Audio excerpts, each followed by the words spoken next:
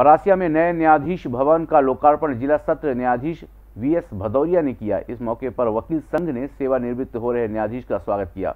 परासिया में खिरसा डोग ग्राम पंचायत के अंतर्गत बने न्यायाधीश भवन का लोकार्पण किया गया। इस कार्यक्रम में न्यायाधीश सहित अधिवक्ता संघ के पदाधिकारीगण मौजूद रहे। इस दौरान जिला सत्र न्यायाधीश बी एस भदौरिया ने लोकार्पण कार्यक्रम में कहा कि एडीजे कोर्ट बनाना मेरा सपना था। शीघ्र ही इस कोर्ट का कार्य पूर्ण होगा और यहाँ कोर्ट प्रारंभ होगी। इस मौके पर वकील संघ ने न्यायाधीश के सेवानिवृत्त होने पर फूलमाला से स्वागत किया।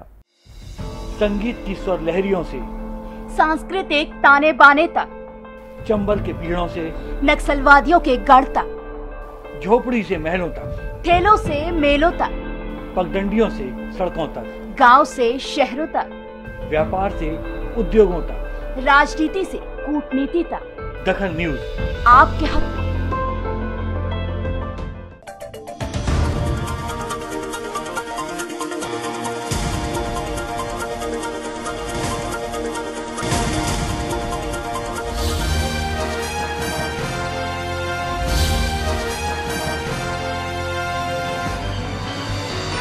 आप देख रहे हैं दखल न्यूज़